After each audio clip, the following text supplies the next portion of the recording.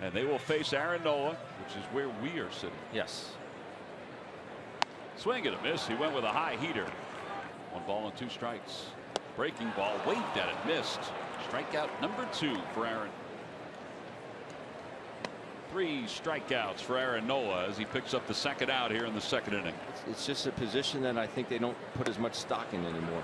Good curveball by Aaron Nola picks up his fourth strikeout of the night. Curveball waved at it, missed. Well, he set him up. That's pitching. Swing and a miss. He got it with a breaking pitch. And a strike three called. Walsh thought it was ball four. And it swept right over the inside part of the plate. And there are two outs here in the seventh inning.